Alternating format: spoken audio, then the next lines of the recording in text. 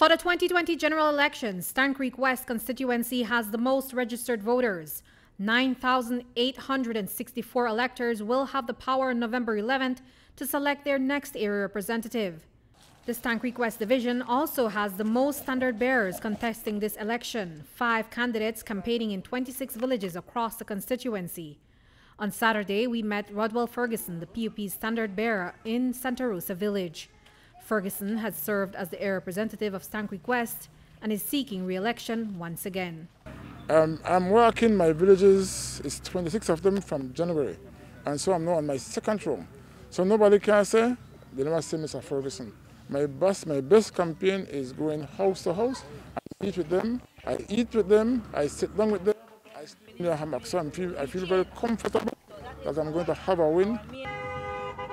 But newcomer to electoral politics, Ivan Williams, will not hand over an easy win to Ferguson. The UDP standard bearer says that his work in public service has positioned him for the seat. And my public service experience, working with the people, my years of service, grassroots, connecting with the people, is just a continuation of the level of service that I've been pro provided. Right? And so people embrace me. We have been energized, we're energetic, and I feel very well going into this general elections. People are saying to me, they have not seen their representative. It is just now that he's coming out. Okay? And so certainly that is going to play a very important factor. And a man who is no stranger to politics in Belize, former three-time area representative Melvin Hulse, is also contesting this division. This time, he's running as an independent candidate. Hulse retired from politics seven years ago, so why is he running for political office once again? I got one problem. I can't sit down and watch nothing happening in Stann I can't. That, that's not my nature. This is my home. And so the same thing when I retired the first time. I'm a retire, left it. If people do work, I don't care. Both parties have been in. But apparently there's one common denominator. If I'm not in, work stop.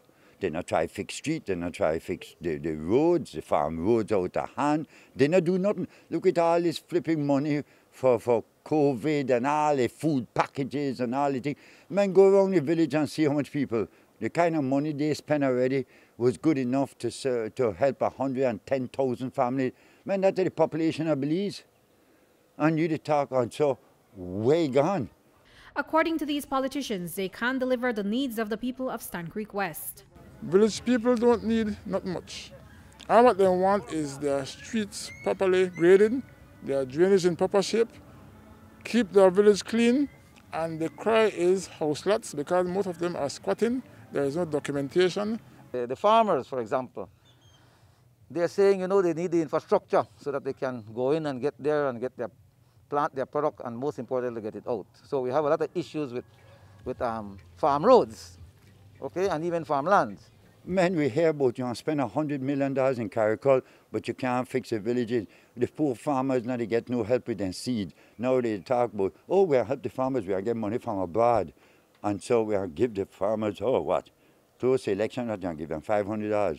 Wow, for, for years you're supposed to be helping them with seeds, with plants, with little animals, give them a head start. Boy, hey, lead piglets. When you got some, return it. Help them with lead calf help the women in the village with either sewing machine to do an industry or help them with chickens so they could raise and, and sell eggs. And this is how you build one country, man, from, from grassroots up. So on November 11th, who will it be for Stann Creek West? In 2015, PUP's Ferguson won by eight votes during a recount, narrowly beating out UDP's Walter Garbutt. This time around, Ferguson says it will be a different story. A confident Williams is already predicting by how many votes he'll win.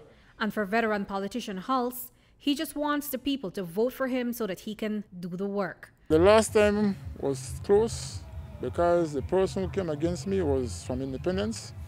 Independence is the biggest village in the constituency. Right now I got 2,500 voters. He gave me a run for my, my money, but yet still I was victorious. This time around it's going to be different, different, different. I can see that. I believe my margins across the country will be the biggest. So I feel very comfortable that um, as a candidate, the people are going to, this time, we're not going to lose by eight, we're going to win by 800. That's a comfortable yes, margin. Man. 800, not lose by eight, win by 800. Oh, that's all. Very ambitious. I work. There is nothing fancy, nothing political, nothing grand, no lot of flags, no lot of songs, no lot of jump up. That all they want now, now somebody who come and work and fight for them, you know. That the way people, and that is all people supposed to want, expect and demand of an area rep. What I can tell the people in San West, I have not slowed down. I'm still a workaholic, still love it, and still on give battery. Reporting for News 5, I'm Andrea Polanco.